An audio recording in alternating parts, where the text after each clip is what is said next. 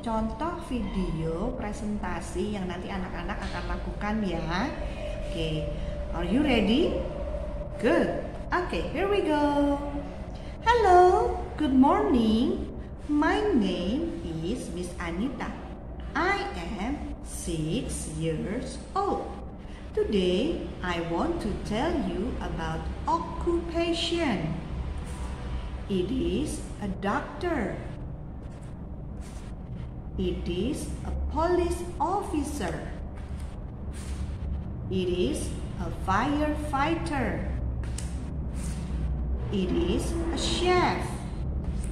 When I grow up, I want to be a doctor because I want to help people. That's all about my presentation. Thank you for listening. Bye bye.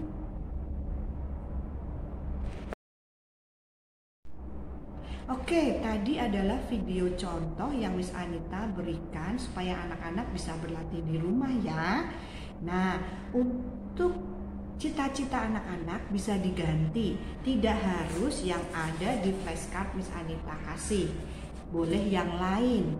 Nah, untuk alasannya kenapa memilih cita-cita itu, anak-anak bisa cari bantuan mama papa.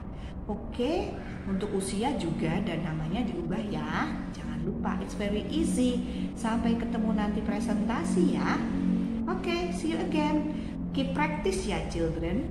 Bye.